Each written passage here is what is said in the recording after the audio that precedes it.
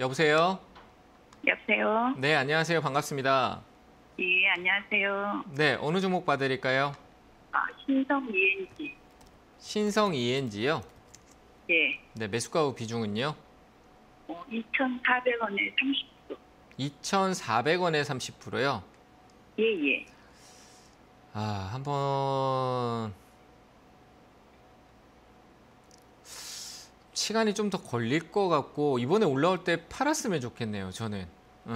음, 이번에 올라오면 좀 매도하는 게 어떨까 싶어요. 만약에 올라온다라면 이거는 네네. 아좀힘뭐 솔직히 태양광 이슈가 얼마나 부각되고 얘가 거기에 편 그 테마에 편승을 하느냐의 차이일 것 같은데 최근에 이 네네. 박스 흐름은 이 공간 안에서 공간적으로 매매를 뭐 어떤 주체가 맞춰놓고 있는 것 같고요. 아직 이 과거에 2020 그 2020년도 우리 코로나 이후에 엄청나게 이 기업이 폭등을 했었거든요. 네, 화면 보고 계세요? 예, 예. 네, 여기에 대한 어떤 해소적인 측면이 조정 이후에 기술적으로 나오고 난 뒤에 꺾여 내려갈 수도 있는 부분이 저는 존재해 보여요.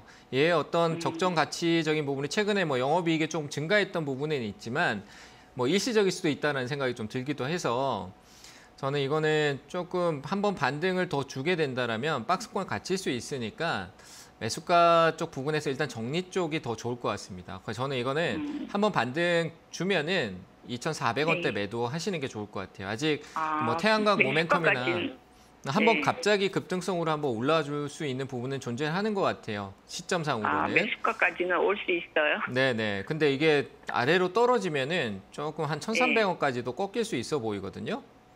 어, 음, 그러니까 지금 이 하단이 꺾이면 1,300원까지도 떨어질 수 있다는 얘기예요. 그래서 그럼 아니- 지금 매도를 할까요? 지금 매- 떨어지면 안 떨어질 수도 있잖아요. 그죠? 그래서 비중 아. 만약에 떨어진다라면은 하단 쪽에 참 아쉽겠지만 그래도 1780원대 밑으로 내려갈 때는 리스크 관리를 좀 해주시는 게 좋을 것 같아요. 뭐 비중을 줄인다거나 뭐 과감한 선택을 아. 하는 것도 필요해 보입니다.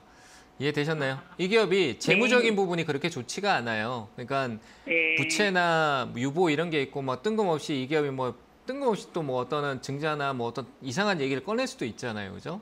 그런 부분들이 네. 좀 불안하니까 저는 이거는 어 1,780원 정도 아래로 이탈할 때는 약간 비중 조절이나 리스크 관리를 해주는 게 좋을 것 같아요. 그리고 꼭 올라오면은 더 폭등을 할 수도 있어요. 테마가 부각돼서. 근데 그러지 말고 그런 거에 기대를 품지 말고 저는 일단 매도 의견 드려보겠습니다. 아시겠죠? 아, 예, 예. 예, 네, 잘 감사합니다. 대응하세요.